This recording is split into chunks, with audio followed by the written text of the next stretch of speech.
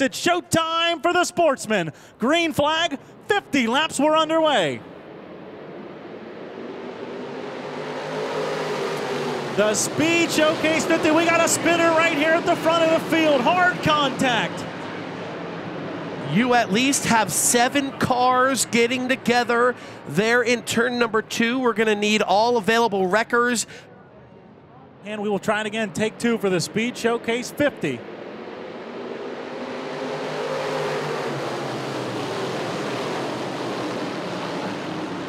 Speed Showcase 50 is underway for the 602 Sportsman. We are clean and green through turns one and two and into three and four. The youngster Tanner Van Doren will lead the field with Bruning and Flood. Now here's Steve Davis. Davis up to fourth. Shields has fallen back to the fifth spot. Keep your eye on the third place car, the 91 of Bobby Flood, as he has found some traction working the top side of the speedway as Tanner Van Doren still working down low of your leader, Joey Bruning. Bruning brings him off a four. He'll lead the lap drag race for the lead into turn number three. Boy, what a great race between Bruning and Flood side by side with Brian Krummel right there. Krummel might be just biding his time, waiting for a hole to open up. Bruning will clear Flood, and Flood fills the hole quickly right in front of, front of Krummel. Now here comes Krummel. He's going to try to make the lead. Three wide turn number two. Unbelievable racing action here at the Port Royal Speedway. Flood, he's going to take the lead in the three. Here comes Krummel. He's working the bottom, has some momentum coming to him. He's going to pull alongside Flood. Can he lead the lap? They drag race to the line. Don't tell me the sportsman can't put on a good show. Flood,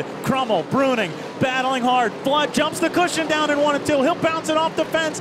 Krummel will take the lead away. Flood finally able to get detached from the fence, but he'll lose second now to Joey Bruning. Meanwhile, battle for third. Kevin Root will drive to the bottom side of Steve Davis. Root now will take the third spot away. So Root from 11th and Toth from 10th into the top three now.